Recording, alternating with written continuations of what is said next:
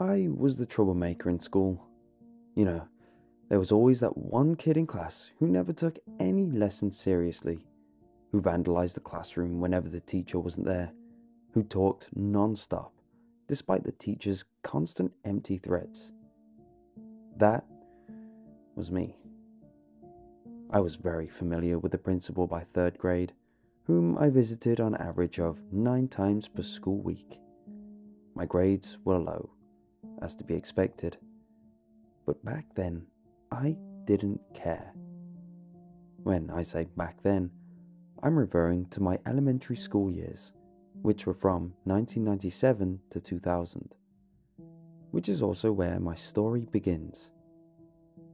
I remember my third grade teacher, Miss Darwin, who had recently suffered a divorce, and I took advantage of her at any moment I could. I would fail a test, and she would always give me sympathy points. I would throw an eraser at one of the girls, and I would be dismissed with a soft, Stop, please. I recall with disdain my fourth grade teacher, Mr. Garrett, who would lower my grade by 10% every time I answered a question incorrectly in class. And then there was Miss Valerie, my fifth grade teacher. Miss Valerie was different from all the other teachers. Whereas everyone else saw me as a lost cause, she looked upon me with favour and affection. She would meet with me after class and review the material with me until she had made sure I understood it. She tutored me on weekends and motivated me to actually get work done. As you've probably guessed, my parents were rarely there for me, and she quickly became a motherly figure. I just wish I'd shown it. If anything, I was a worse student to Valerie than I was to Darwin or Garrett. I needed attention more than anything, and I think that, deep down, she knew it even as I talked out loud to my clique during class, even as I refused to turn in my assignments, even as I took 15 minute bathroom trips every day. I always felt guilty every time she reluctantly sent me down to the principal's office for detention, even though I wasn't conscious of it. And then, all of that changed. I think that most of you know what I'm talking about when I say that I especially hated those 20 year old educational films. You know, the healthy eating and drug prevention campaigns that the school dropped on us for one month out of the year. Remember Dare? Yeah, that stuff. And the anti bullying campaign. Jesus, that was torture. We spent the entirety of Fridays learning about how to stand up to bullies how to not become a bully, how to speak up when you're a bystander. Of course, I never paid attention to any of it. They all consisted of grainy, low quality scenes of people who were clearly on antidepressants talking about the problem of bullies in schools. They all had cheesy titles too. Don't stand by for bullying. Take bullying by the horns. I fell asleep during each and every one of them. I clearly remember that one March afternoon when Miss Valerie showed us a video simply entitled The Zebra. She inserted the tape into the VCR and told us that we should pay attention because the message was very important. She dimmed the lights and flipped on the TV. I wasn't awake for most of it. But what I did see was a bit confusing. It started with a cartoon scene of Africa, with no title sequence or anything. A poorly drawn zebra moved into view, coming across a pack of lions encircling an antelope. That's all I saw before I rolled my eyes, leaned back in my chair, and fell asleep. I was awakened by the voice of Valerie saying, and that's why you shouldn't be a zebra. Any questions? No one had any, but from what I'd heard at lunch that day, nobody fully understood it. Apparently, the zebra was supposed to represent a bystander. The lions were bullies and the antelopes was a victim.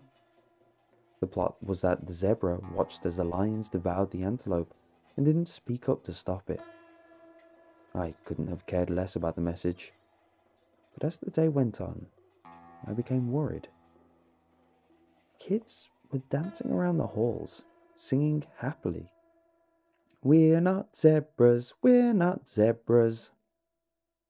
When I threw erasers at the girls, they didn't react. It would hit their face and bounce off with a slap. But they just remained, unflinching, still singing, We're not zebras, happily. It was strange, to say the least.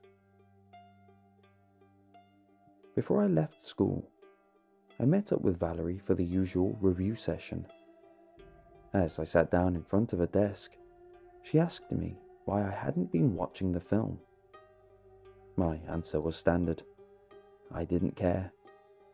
Upon hearing this, she sighed heavily. Ah, you know, Luke, she said, I was once a lot like you. I would constantly cause trouble in class and would even bully other students. That was when it wasn't criminal to be one, I thought. I often picked on this one very emotional, fragile little girl. I said the meanest things to her, awful things. I laughed as I watched her cry. She even stayed home for weeks at a time. One day, I got a call that the student I'd been harassing had killed herself by jumping from a window. I was too young to understand the gravity of this admission. That moment made me realize that the path I'd chosen was wrong and hurtful. I found out later that she had left me a gift. This video. She held up a copy of The Zebra. I never understood why, but I kept it knowing that changing would make her proud. And I say the same to you today. She put away the tape and looked into my eyes. Now go. She hadn't assigned anything to the class that day, and I assumed she would give me at least one extra credit paper. You're not giving me homework? I questioned. No, you can go home. I just wanted to tell you how I feel about your potential future, she said. I shrugged and left seriously confused at the day's events. The next day, when I came to school, the entire class was empty. I sat down in my usual desk at the front of the room, looking at the absent desks around me. Seeing that nobody was there, I stood up and turned on the TV Valerie had kept for the PSA videos. The default channel was the local news. Breaking news 17 children dead, cause unknown. I stared at the screen intently, not quite knowing what to think. 17 children were found dead this morning, all outside their own homes, said a reporter. The deaths were discovered by a paperboy who insisted on remaining anonymous, who claimed that he found several of them dead lying on the ground below open windows on his morning route. Never before, since the town was founded, has there been such a tragic occurrence. The deaths were likely coordinated, although whether the intentions were homicidal or suicidal is still unknown. Police are currently investigating the incident. Shocked, I stood up and turned around to Miss Valerie standing at the doorway. You see why it's so important not to be a zebra now? She said, grinning. Of course you don't. She walked towards me. You are special. She strolled over to her desk and took out the zebra. These children have all stood up to the lions, and in doing so, they are no longer zebras. The antelope can be saved. She handed me the tape. I grasped it with both hands as if it were made of glass. Despite being left in the cold metal drawer, It felt warm, as if it had been lying on top of a heater. There was something else strange about it, but I couldn't quite put my finger on it. The antelope was killed long ago by the lion. The zebras never batted an eye. But now, both the lion and the zebras have a chance to redeem themselves. The antelope, she chose me to spread the message of this video. Only a lion possesses enough strength to persuade the horde of zebras. Now, it's your turn. Before I could speak, Miss Valerie unsheathed a knife from her pocket and swiped it across her throat, falling over her desk in a heap. I've never screamed as hard as I did that day. Within minutes, the police stormed into the classroom looking for Miss Valerie. They found me crying next to a lifeless body, still clutching the tape. I couldn't understand what was happening. I still don't fully understand, if I'm honest. They told me that she was a bad person and that she was very sad.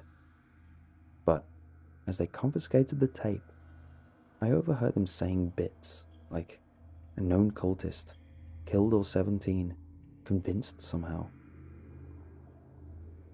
After they calmed me down, I remember handing them the tape, saying that I wanted it back after they were done with it.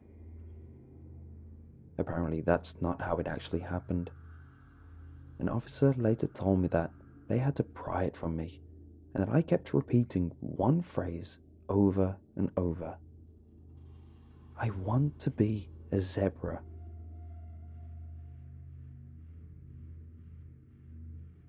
The case was concluded in late 2005, with the deaths confirmed as a mass suicide induced by Miss Valerie, who had a history of killing entire classes of children.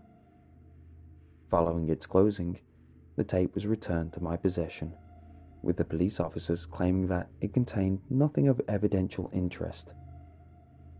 I knew that something about what was on it caused the death of my classmates.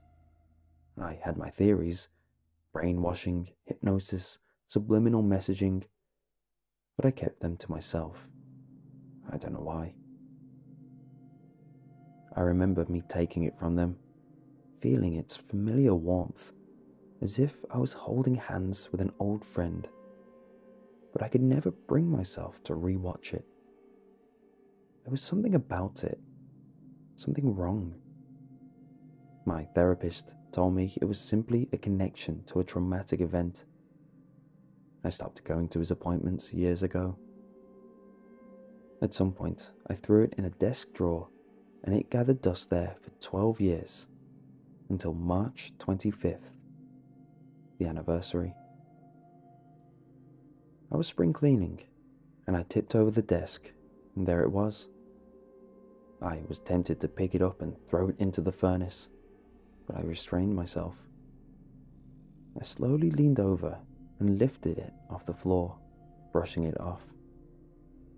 I expected the label to be faded or worn, but it was eerily pristine not so much as a tear or crease. I could still see the words printed on it, appearing as though they were new. Studio 58 Productions presents The Zebra, an anti bullying educational film. And then I realized something. That one thing I could never place when Miss Valerie had first given me the cassette that one thing that had deterred me from watching it one more time. It was light. Too light for a cassette. The tape did not have, nor had it ever had, any film.